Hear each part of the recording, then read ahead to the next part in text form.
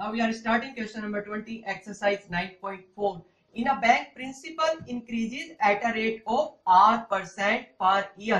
सारी इंफॉर्मेशन सारी critical information इसी लाइन में छुपी हुई है। In a bank principal increase जो प्रिंसिपल है वो इंक्रीज होता है किस रेट में? Rate of R percent per year तो आपके पास देखिए इंफॉर्मेशन क्या है? कि जो प्रिंसिपल में इंक्रीज होता है यानी कि डीपी अपोन में डीटी टाइम के रेस्पेक्ट में इंक्रीज हो रहा है। वो इक्वल टू क्या है? आर परसेंट आर परसेंट किसका होगा? जो पैसा आपने लगाया, वहाँ पे मनी लगाया मनी यानी आपने जो प्रिंसिपल लगाई है ओ पी ये इसके इक्वल रहेगा। एक बात तो ये हमें इंफॉर्मेशन पहली लाइन पे मिल चुकी है। अच्छा दूसरी इंफॉर्मेशन एक और देखिए। Find the value of R if rupees hundred double देखिए, जब किसी बंदे ने शुरू शुरू में वहाँ पर हंड्रेड रुपीज़ लगाया, आज मान लीजिए आप हंड्रेड रुपीज़ लगाने जा रहे हैं तो आपका टाइम तो अभी ज़ीरो है ना? और आपने लगा कितना दिया? हंड्रेड रुपीज़ बात समझे, एक पॉइंट तो ये आ जाएगी और फिर इसके बाद double itself in ten year अब की बार दस साल बाद जब आप वहाँ जाते हैं तो टाइम आपका दस साल हो गया और आपका प्रिंसिपल कितना हो जाता है? टू हंड्रेड हो जा रहा है। बात समझ रहे हैं? तो पी आपके पास टू हंड्रेड रहेगा। ये क्रिटिकल वैल्यू जो तीनों हमने ढूंढ निकाली है इसमें से, बस यही इसमें पुट करनी है और आंसर आ गया। चलिए सॉल्व करते हैं। तो डीपी अपॉन में डी इक्वल टू हमारे पास है अकॉर्डिंग टू गिवन इंफॉर्मेशन जो इंफॉर्मेशन इसने हमें दी है, उसके अकॉर्डिंग अगर हम लेके चले तो ये वाली बात है मतलब जो रेट जो इंक्रीज है प्रिंसिपल में, वो आर परसेंट ऑफ़ पी है। तो अब देखिए भैया डीपी अपोन में D T equal to R percent को आप क्या बोलते हो? आर फोर हंड्रेड पी ये बात है समझ में? अगर हम सेपरेटिंग का वेरिएबल करेंगे तो P किसके नीचे आना चाहिए? डीपी के नीचे। तो P को आप यहाँ से हटा दीजिए और यहाँ पर डीपी के नीचे लाइए और dt यहाँ चलेगी इंटीग्रेटिंग बोथ साइड आप दोनों साइड का इंटीग्रेट करिए। तो इसका क्या आ जाएगा आपके पास? Log P और यहाँ पर क्या ऑप्शन आएगा आपके पास? R अपॉन हंड्रेड तो कॉन्स्टेंट है। ये तो बाहर आ जाना है। आपके पास वन का क्या हो जाएगा?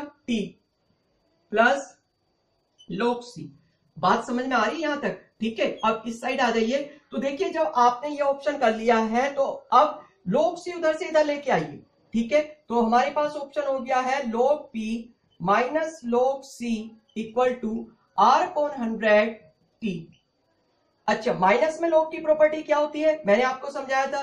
तो ये क्या हो जाएगा? Log P upon C equal to R upon hundred T बात समझ रहे हो ना? माइनस में अपोन में आ जाता है। अच्छा लोग दूसरी साइड जाके क्या हो जाता है? एक्सपोनेंशियल फॉर्म में चले जाते हैं। तो P upon C equal to E to power R upon hundred dot T बात समझ में आया?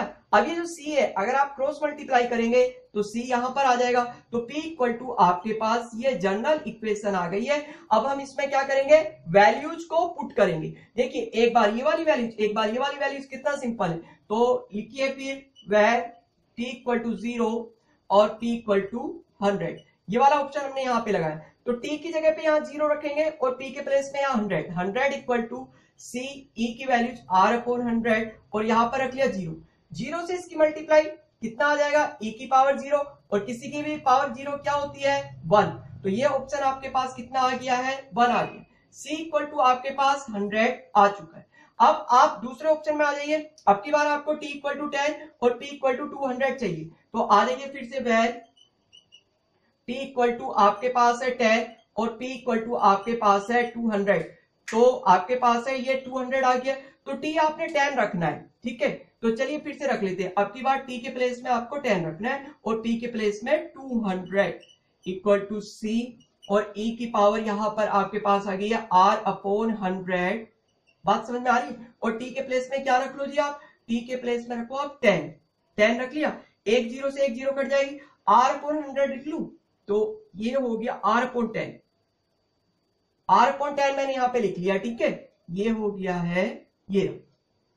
अच्छा सी कितना था? सी हंड्रेड था. तो सी के प्लेस में आप कितना रखिए? हंड्रेड अब अगर हंड्रेड को आप यहाँ पर लेके जाएँगे ब्रदर तो इसके अपोन में आएगा और टू हंड्रेड को जब आप हंड्रेड से डिवाइड करेंगे, क्या आएगा आपके पास? टू आ जाएगा। तो यह आ गया है आपके पास two equal to E to power R upon ten देखिए, जब लोग यहाँ से गया था एक्सपोनेंशियल फॉर्म में एक्सपोनेंशियल फॉर्म यहाँ पे आएगी तो ये क्या हो जाएगा? लोग टू और लोग टू की वैल्यूज़ वो क्या दे रहा है? लोग टू की वैल्यू जिसने हमें गिवन कर रखी है ज़ीरो पॉइंट यहाँ पर हमने लिख लिया zero point six nine three one equal to R upon ten आप क्रॉस मल्टीप्लाई कर लीजिए तो आपके पास ऑप्शन हो गया है आर इक्वल टू और टेन की मल्टीप्लाई करोगे, ध्यान है ना पॉइंट एक इधर की सक जाएगा six point nine three one percent ये आपकी आर आ चुकी है रिक्वायर्ड आंसर है। I hope you enjoy this video आपको ये वीडियो अच्छी लगी होगी। बहुत सिंपल मेथड इसमें हमने एप्लीकेबल करा है। अगर आपको ये अच्छा लगता है प्लीज़ हमें लाइक कीजिए शेयर कीजिए सब्सक्राइब कीजिए और हम पाँच या पाँच से ज़्यादा वीडियो डेली अपलोड करते हैं। तो हमारे साथ बने रहिए और बने रहने के लिए thank you thank you very much